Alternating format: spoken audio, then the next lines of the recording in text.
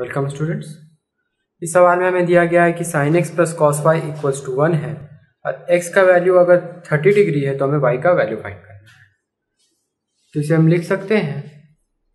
Cos y is equal to one minus sine x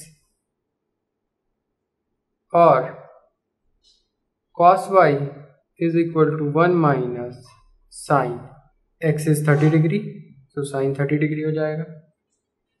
और cos y is equal to one minus one by two और cos y is equal to one minus one by two मतलब कि one by two होगा